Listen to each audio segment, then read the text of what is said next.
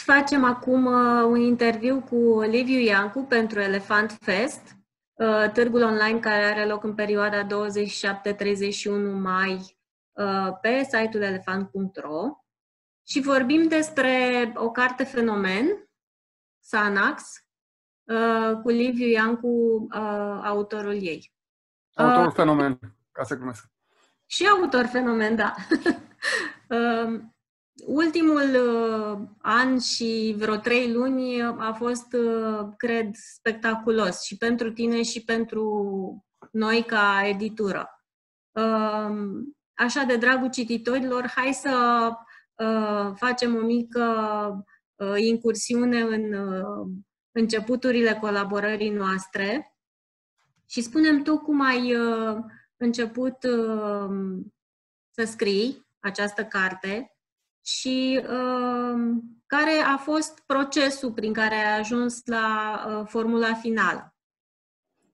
Practic a fost un pic invers decât se întâmplă în mod uh, obișnuit. În mod obișnuit oamenii scriu cărți și încearcă dacă se pot vinde și dacă plac cititorilor. La mine a venit cumva invers, adică cititorii au cerut cartea, mare parte dintre cititori, pentru că eu scriam de ceva vreme niște editoriale în profit.ro, un site economic extrem de serios ei, aveam acolo o rubrică extrem de neserioasă despre lumea satului, cu povești despre lena țăranului român, despre uh, corupția oamenilor de afaceri, tot felul de povestioare din astea.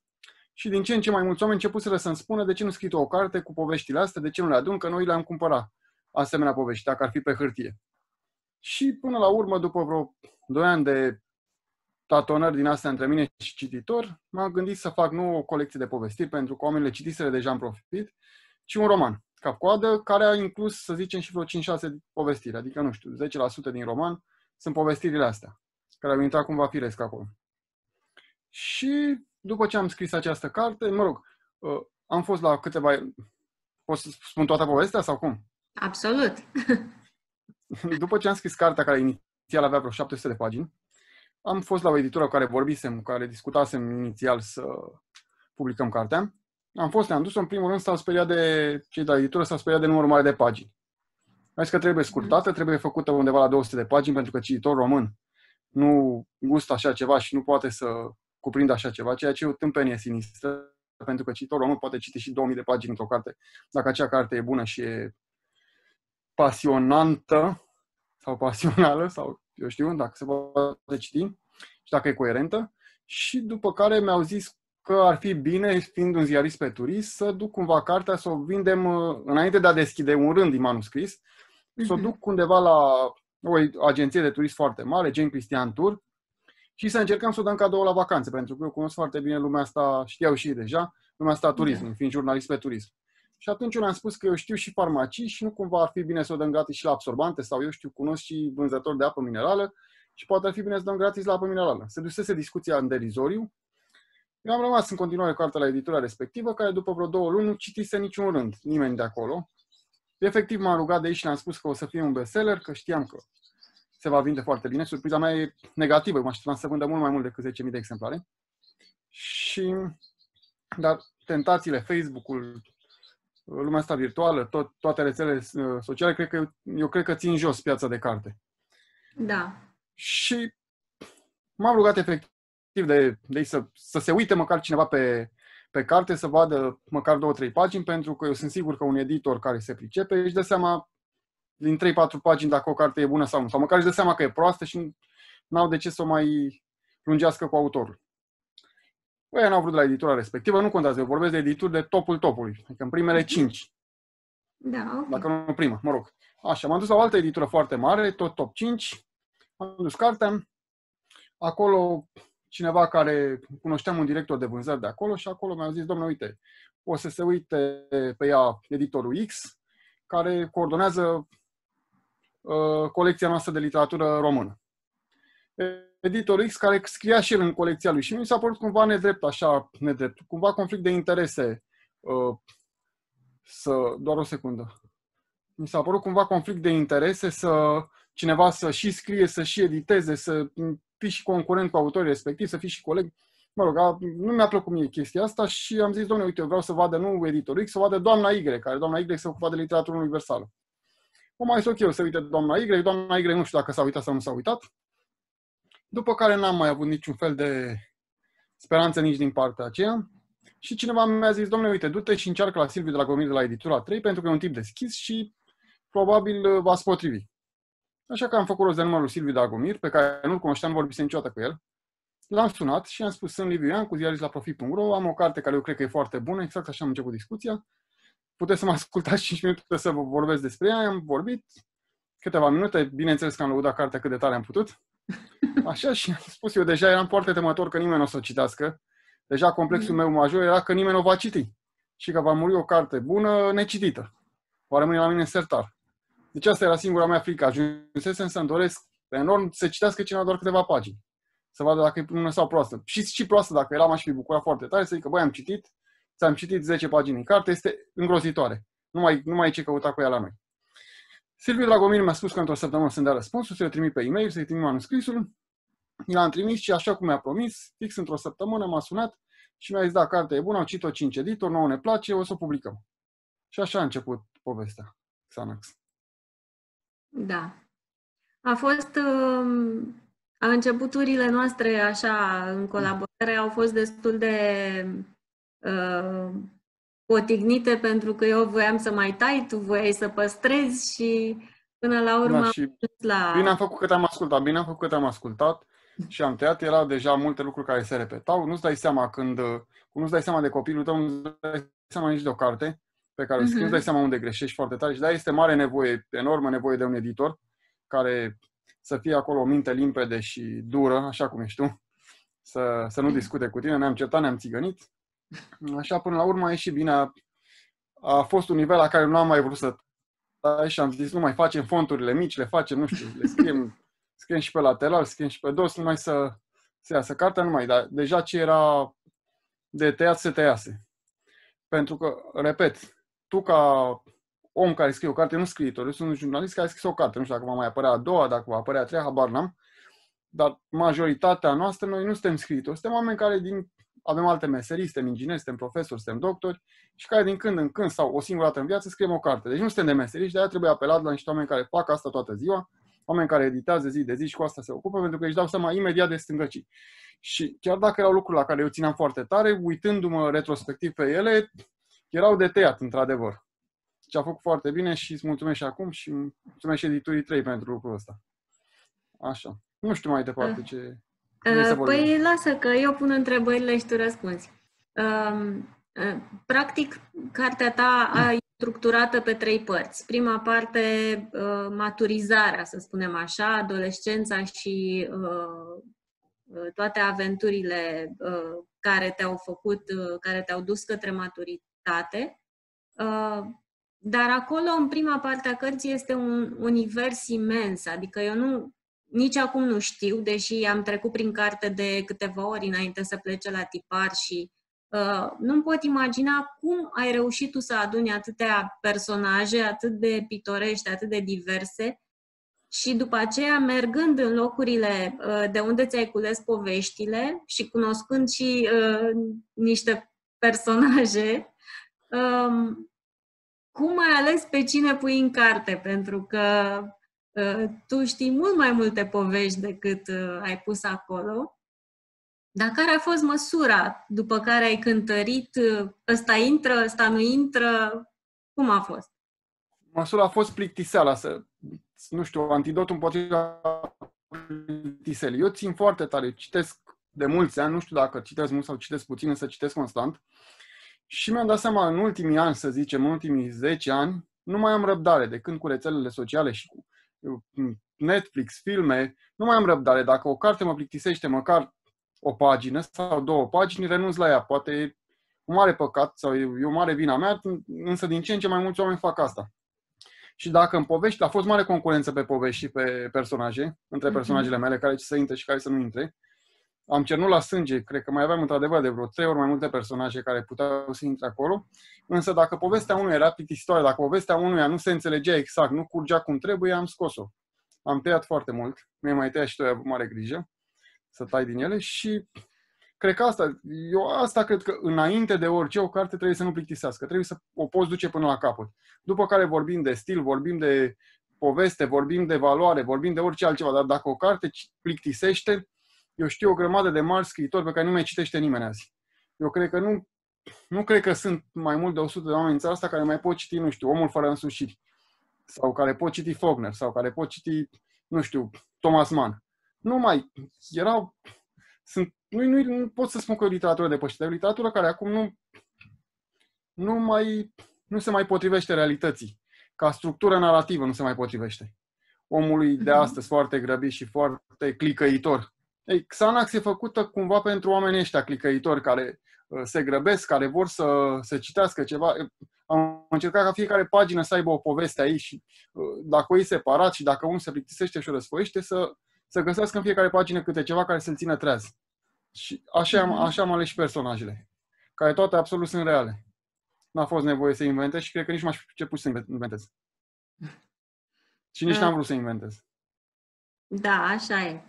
Uh, și și uh, ți-ai găsit și niște critici care ți-au reproșat cumva chestia asta că uh, ai preferat să rămâi cumva tot jurnalist, deci observator al unor uh, scene, uh, situații, personaje uh, și uh, ai folosit destul de puțin din arsenalul ăla uh, al uh, scriitorului, uh, așa cum e el definit de uh, multă lume, știi? Un scriitor scri- creează, folosește imaginația, e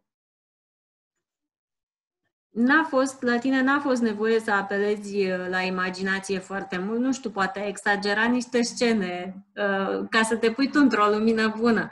Dar... Uh... Nu, eu m-am pus într-o lumină proastă, absolut. Eu m-am pus într-o lumină proastă de fiecare dată. Chiar mi-a reproșat, reproșa mama asta, mi-a reproșat Raluca chestia asta, că tot timpul m-am pus într-o lumină proastă. Tot timpul m-am văzut cumva, nu știu, mai jos decât sunt în multe lucruri. Însă e foarte deranjant scriitorul lăudăros în scris. Eu, uite, mă laud acum, dar în carte nu m-am lăudat deloc, cred eu. Sper, nu știu. Și nu, așa e, nu iar e foarte deranjant pentru mine scriitorul care, scriitorul care îți bagă cu forța pe gât mesajele. Trebuie să înțeleagă omul de acolo. Dacă personajul A e bun, dacă personajul B e rău, nu trebuie să le trec eu prin filtrul meu și să, să încep să uh, undeva uh, cineva a făcut o cronică pozitivă a Xanax și spusese că nu abunde de autoreflexie. Nu abunde pentru că nu vreau să plictisesc cititorul pe... Repet, asta este teama mea foarte mare, să nu plictisească acea carte. Și nu voiam să plictisesc cititorul cu gândurile mele. Eu am foarte mulți scriitori români, gândesc într-una toată cartea, gândesc de la cap la coadă. Ei, eu nu pot să citesc cărțile alea. Le iau, le răsfoiesc, dacă văd gândurile lui uh, uh, un scriitor, nu știu dacă e scriitor sau ceva de genul, publicase acum pe Facebook uh, jurnalul lui, că am făcut pui cu orez și că copilul se juca nisip și n-am mai făcut niciodată pui cu orez. Și m-am uitat așa, bă, da, ce l-ar interesa? M-ar interesa pe mine că a făcut la pui cu orez. Ce chichiță are aici, ce dribbling face pe aici, ce... Nu era nimic, făcuse la pui cu orez. Citise probabil și în Sebastian. Ori acolo are cu totul și cu totul și dacă face pui cu orez, e scris așa de frumos, așa încât guști simți, simți puiul cu orez. Simți mirosul orezului, mirosul puiului. Că a făcut ăla, nu, nu mă interesează, sau amintiri de genul Uh, când bunica mea uh, mi-a făcut mie o sărmăluță, dacă nu poți să transmiți mai departe mirosul de sărmăluță, nu mai băga pe mătamare acolo, că n-are ce căuta. și eu am încercat să, să transmit, să transmit uh, lucrurile astea și să, să pun doar ce e relevant, doar ce poate interesa și pe o terță persoană. Adică dacă ăla bagă capul pe fereastră, dacă oamenii stau și mănâncă ciorbă ca în filme românești și nu spun nimic și ciorba aia nu spune nimic, am scos-o din carte. Nu e o carte cu ciorbe. Da, e o carte cu multă carne, în schimb. Da, exact.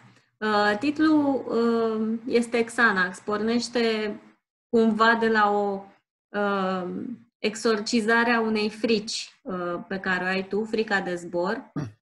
Uh, crezi că după experiența asta, deci după ce ai scris cartea, după ce uh, ai avut uh, nu știu câte zeci sau sute de zboruri de la momentul la care ți-ai declarat frica de zbor.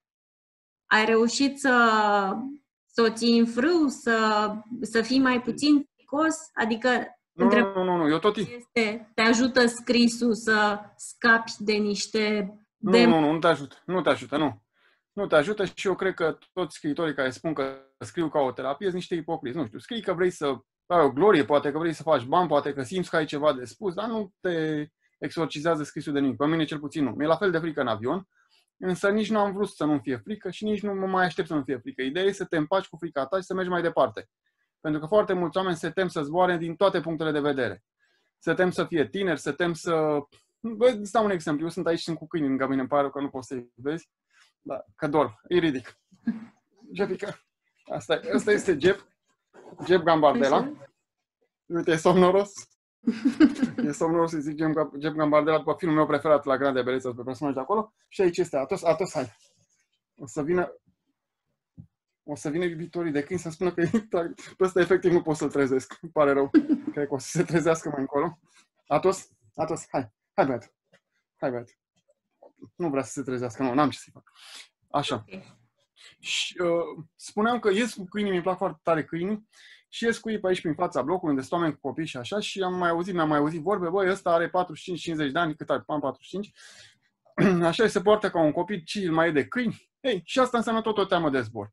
Asta e pasiunea mea din copilărie, o să rămână toată viața și nu mă tem, e tot un zbor, nu știu.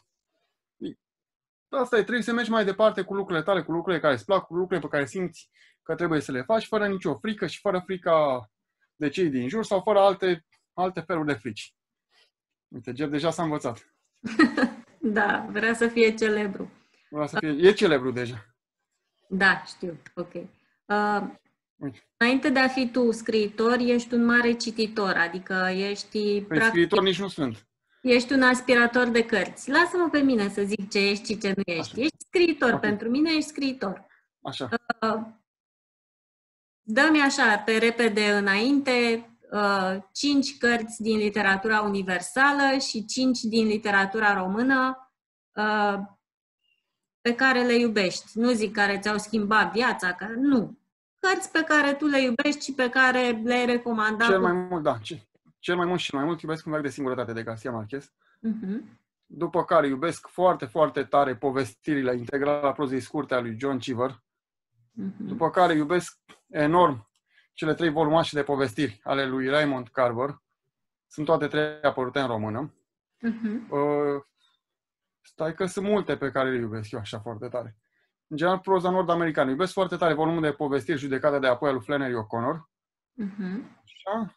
Uh, iubesc Încă foarte mult darul, darul Humboldt de, al lui Sol Bellow. Nu știu, sunt sute de cărți pe care le iubesc. Am spus câteva. Păi gata, ai zis, ai zis Deșertul, acum... Stai că nu vreau să vreau să spun deșertul, deșertul tătarilor de Dino Buțati. Așa. Sunt multe.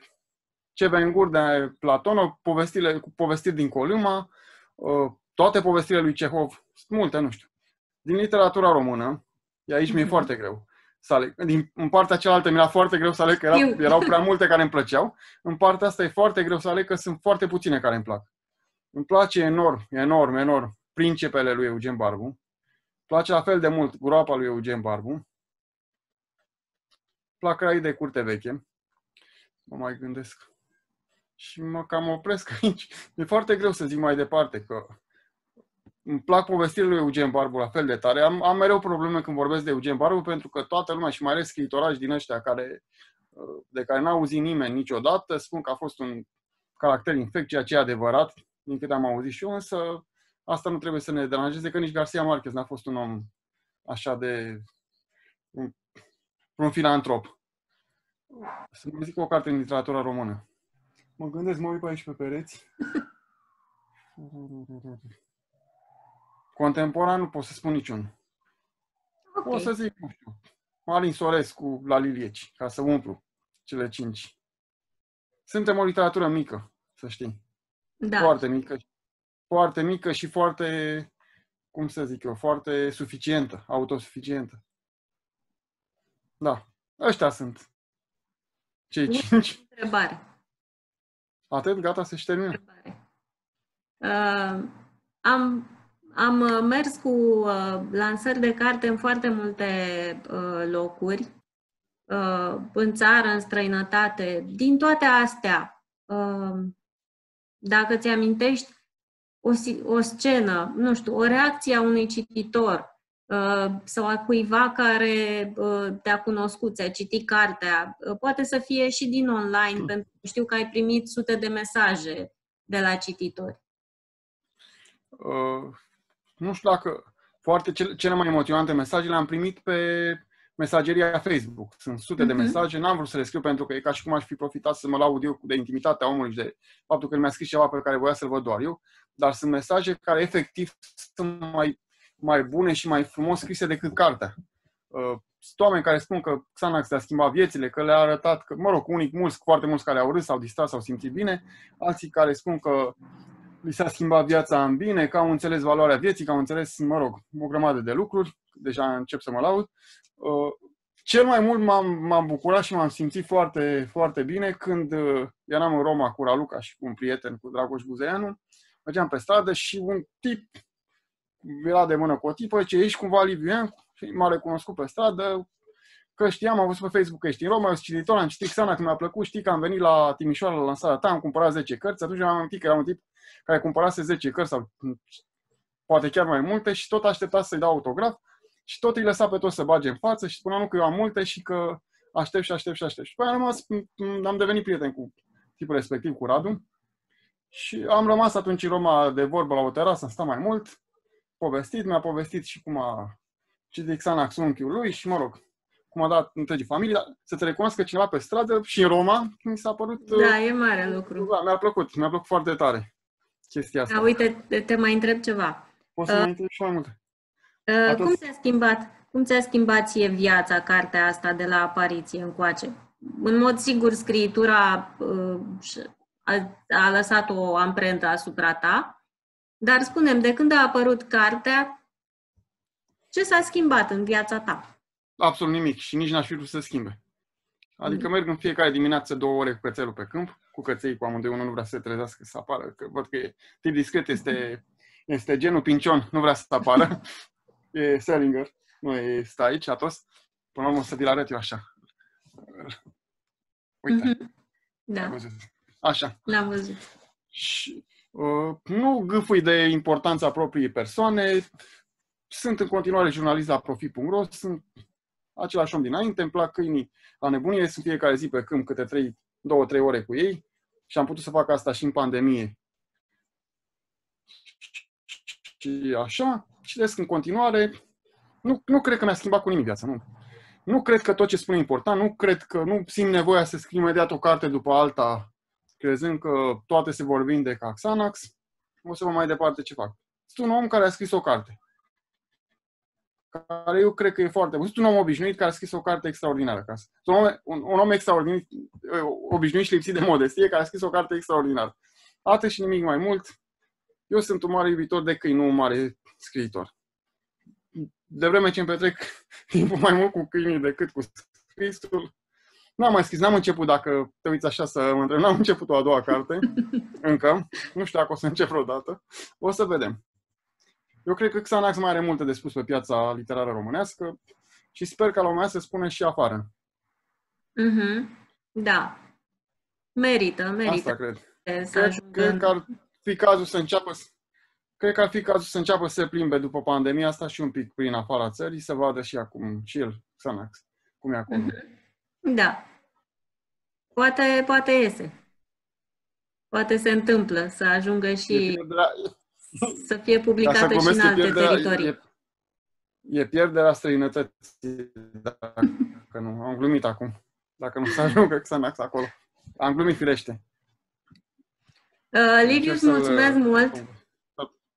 Da, plăcere și găsiți, eu găsiți romanul Xanax uh, atât pe elefant.ro cât și pe site-ul Editurii 3 și uh, ne vedem online. Dacă doriți ca după ce vedeți acest interviu să-i adresați întrebări uh, suplimentare lui Liviu, îl găsiți pe pagina lui sau uh, uh, o să-l rugăm să uh, intre și el pe elefant.ro să vă răspundă la întrebări.